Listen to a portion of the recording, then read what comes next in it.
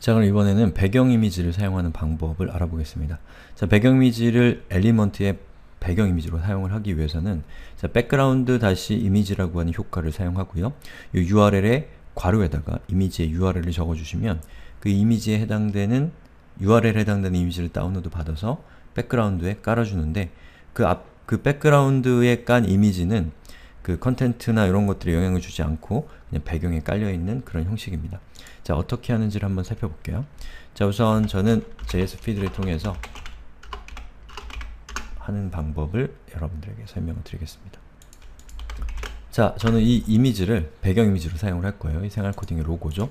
그래서 제가 여기다가 div id는 로고라고 하고 이 엘리먼트의 배경 이미지를 사용을 할 겁니다. 그래서 샵 로고 id 값이 로고인 element에 background image 그리고 url 자 콤마하고 아, 콤마가 아니죠. 따옴표하고 따옴표 닫고 괄호 닫고 그 다음에 제가 run을 해보겠습니다.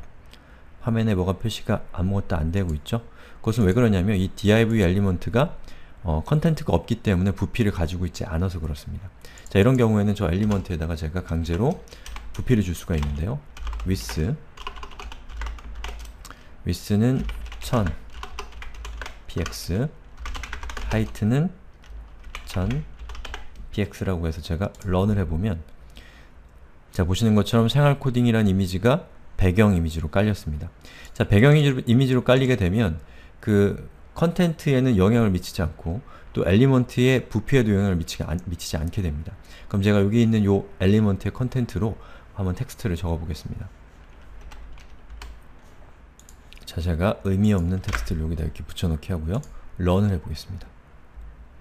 자, 보시는 것처럼 텍스트가 표현이 됐지만 뒤에 있는 배경 이미, 이미지와 서로 충돌하지 않고 다른 레이어에 존재하게 되는 겁니다. 배경 이미지는 가장 밑에 깔리고 그 위에 content가 들어오게 되는 거죠.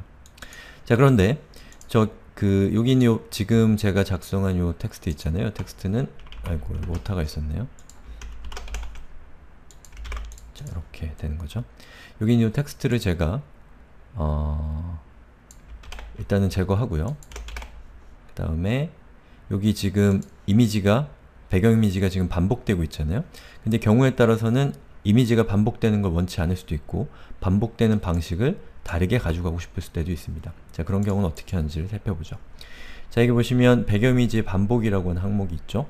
그래서 background 다시 repeat 그리고 반복 방식이 오는데 반복 방식으로 올 수 있는 값들은 repeat, repeat 대시 x, repeat 대시 y, no 대시 repeat 이렇게 네 가지 값이 있습니다. repeat는 수직, 수평 모두 반복하는 것이고 현재 여러분이 보고 계신 것이 repeat 방식이고 이것이 기본값입니다. 자, repeat x는 수평만 반복하고요. y는 수직만 그리고 no 리피트는 반복하지 않는 겁니다. 자, 그럼 제가 여기다가 repeat 방식을 명시해 줄게요.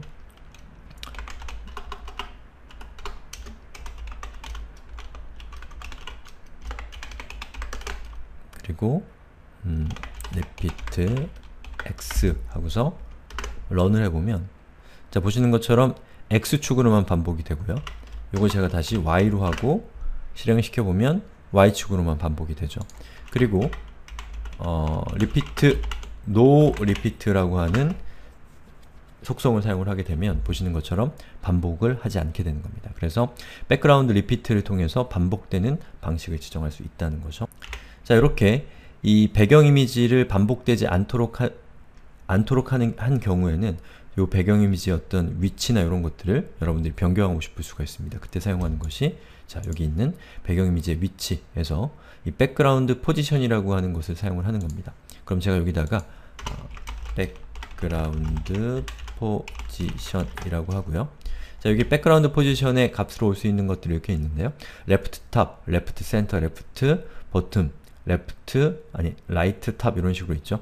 여기서 얘기하는 left top이라고 하는 것은 요 이미지를 이 이미지의 부모 element인 요 div element의 왼쪽 상단으로 붙인다는 뜻입니다. 자, 제가 여러분들의 이해를 돕기 위해서 여기 있는 요 id 값이 로고인 저 div element에 border를 주겠습니다.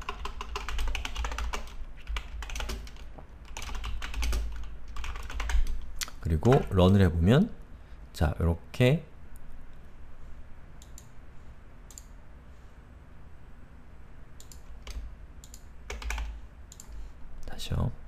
부류가 있었죠. 어, 보도값이 생겼는데 지금 이 보도가 너무 커서 이 박스가 너무 커서 제가 이걸 크기를 줄이겠습니다. 자, 한 400 정도로 줄일게요. 그리고 런을 해보면 자, 보시는 것처럼 이렇게 요 div element의 윤곽이 잡혔죠. 그럼 이 윤곽을 기준으로 해서 여기 있는 요 background image의 위치를 제가 변경을 해보겠습니다. 그때 사용하는 것은 방금 제가 설명 말씀드렸던 어,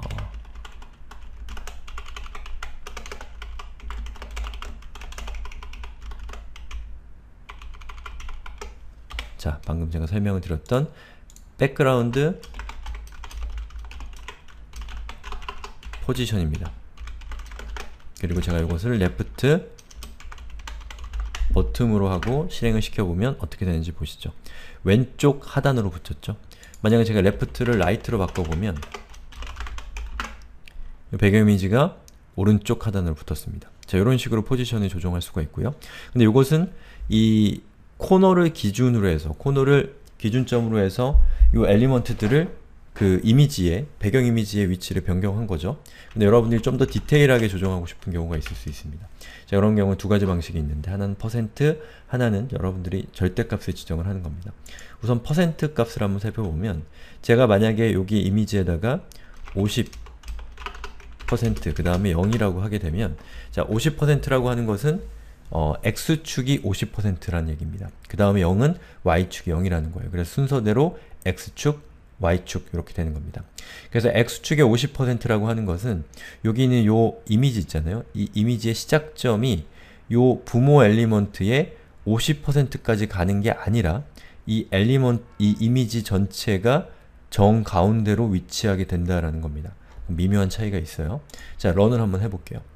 자, 그럼 보시는 것처럼 50%로 갔죠.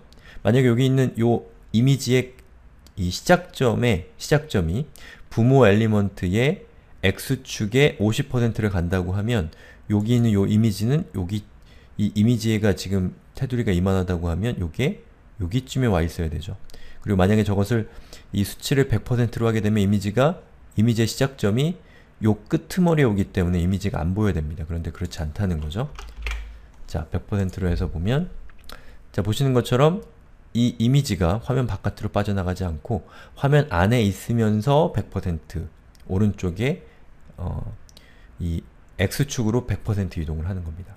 화면 바깥쪽으로 빠져나가지 않는다는 거예요. 그래서 제가 여기다가 Y축에다가 50%를 지정을 하게 되면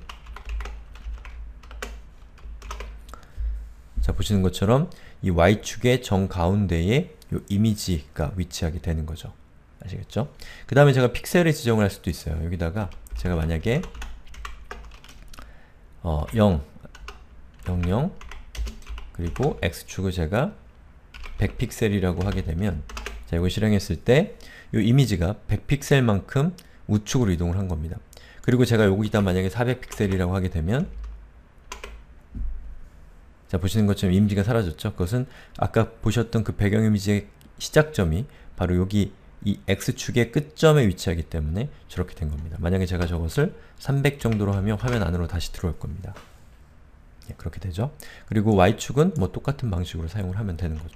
자 그리고 지금까지 제가 이렇게 어떤 배경 이미지나 아니면 컬러 같은 것들을 이렇게 어, 효과별로 이 이름을 background image, background repeat, background position 이런 식으로 지, 기술하는 것을 보여드렸는데 이렇게 하지 않고 background란 이름 안에다가 이, 이 여러가지 효과들을 한 번에 퉁쳐서 넣을 수가 있습니다. 자, 그게 이제 단축 속성, shorthand property라고 하는 건데요. 자, 여기 보시면 body라고 하는 element에 대한 선택자죠. 그리고 그 안에 background라고 하는 효과가 나타나는데요. 이 효과의 값으로 예, 이렇게 샵 00FFFF는 background color의 값이고 URL은 저 URL에 해당되는 이미지를 다운로드 받아서 background로 표시하겠다. no-repeat는 반복되지 않는다. right top은 위치죠.